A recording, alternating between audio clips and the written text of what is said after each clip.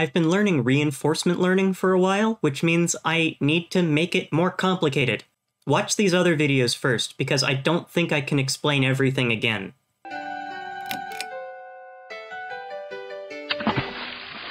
Last time I talked about reinforcement learning, I said I wanted to try making a robot play Slither.io.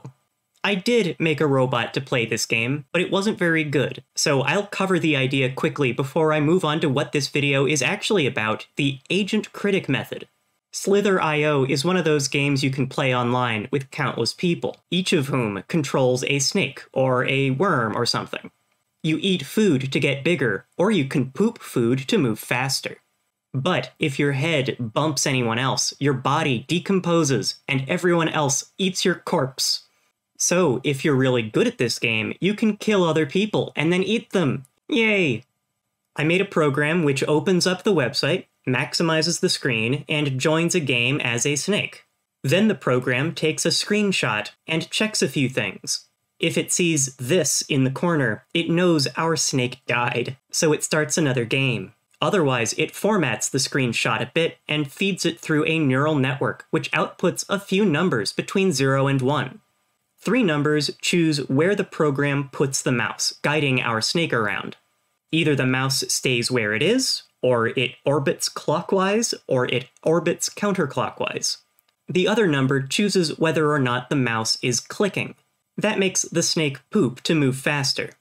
I tried rewarding the model based on the snake's length, but that's where I hit a wall.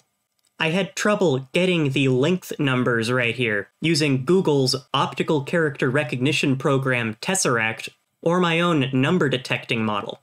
Sometimes snakes run behind the numbers, and that makes the data quite noisy, so maybe I'll make a robot slither around some other time. Anyway, I didn't like the way I made the snake either keep moving, turn a certain amount left, or turn a certain amount right.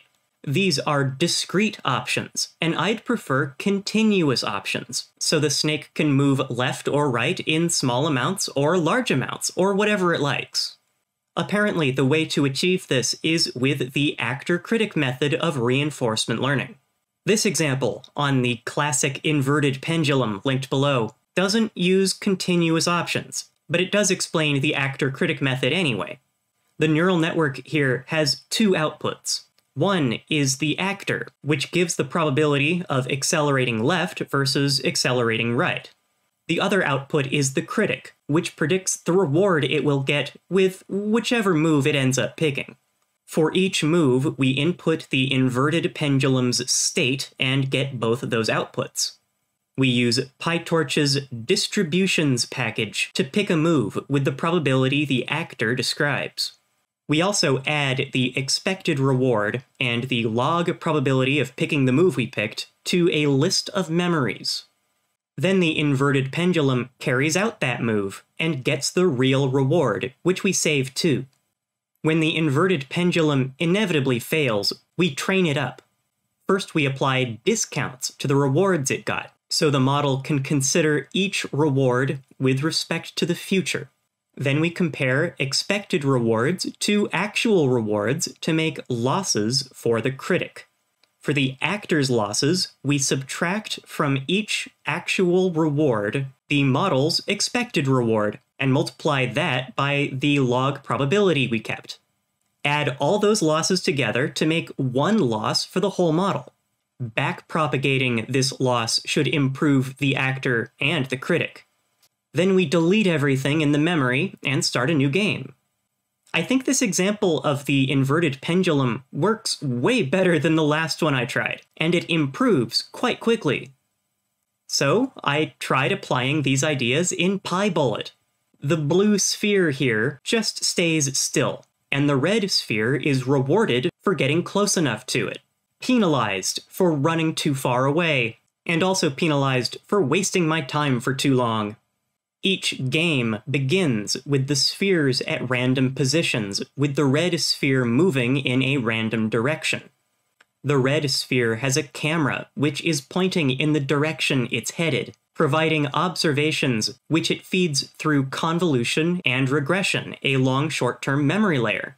First, I implemented a discrete set of actions, just to make sure it would work.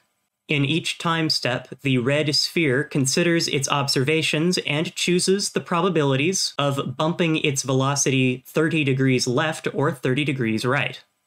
It took quite a lot of training, about 15 hours, but the training worked. In these plots, the blue line is the model's success rate over the last 100 games, while the green and orange lines are the highest and lowest probabilities the model supplied in those 100 games. Over time, the probabilities appear more decisive, and the success skyrockets. Here's how the red sphere acts at the end.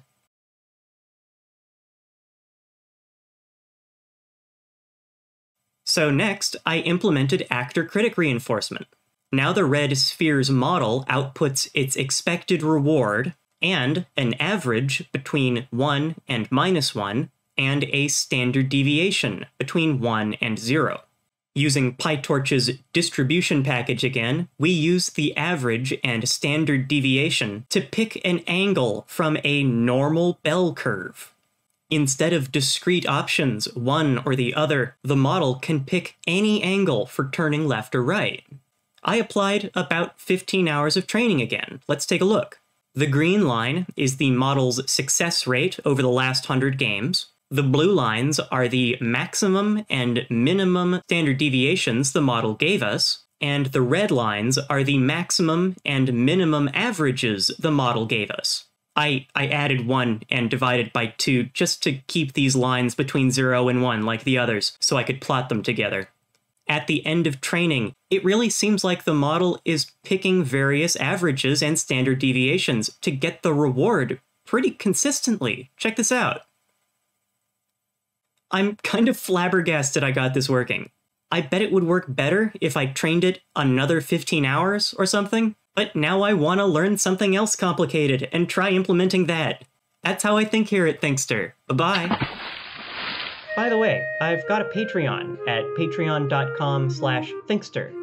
I want to thank all these squidlings and elder squids. Thanks.